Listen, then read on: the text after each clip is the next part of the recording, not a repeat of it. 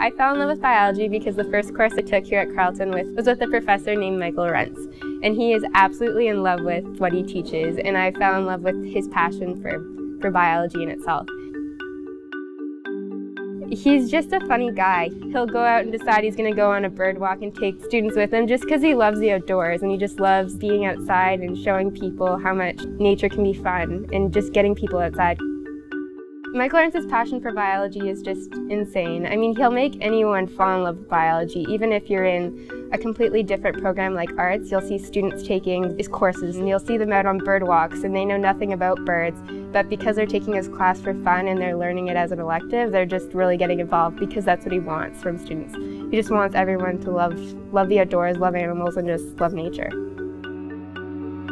I think that if you have a passion for something, and you can bring that into an education and then bring that into a career, you can really just make a difference in the world because you're loving what you're doing and that's what's going to keep motivating you to go farther. You're going to wake up every day and you're going to want to keep doing more and more of it. And you're going to wake up and go to school and you're going to be excited about what you're about to learn.